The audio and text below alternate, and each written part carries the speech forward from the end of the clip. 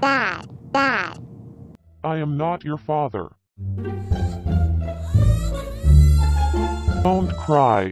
You'll become my son. I love you, Dad.